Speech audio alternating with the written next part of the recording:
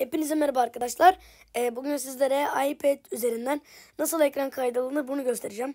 İlk önce arkadaşlar buradan sağ üstten kaydırıyorsunuz. Ve şuradaki simgeyi tıklıyorsunuz. Gördüğünüz gibi ben şu an buradan kaydalıyorum. Ve gördüğünüz gibi açık. Şurada e, sağ altta simgem görünüyor.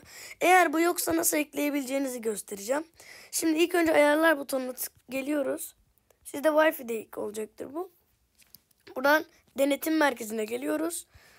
E, ben de yani sizde bu olmayacak şu an. Burada bu kısımda olacak. Buradan ekran kaydına artıya tıklıyorum. Ve gördüğünüz gibi buraya geliyor. Bugünkü videomuz bu kadardı. Görüşmek üzere.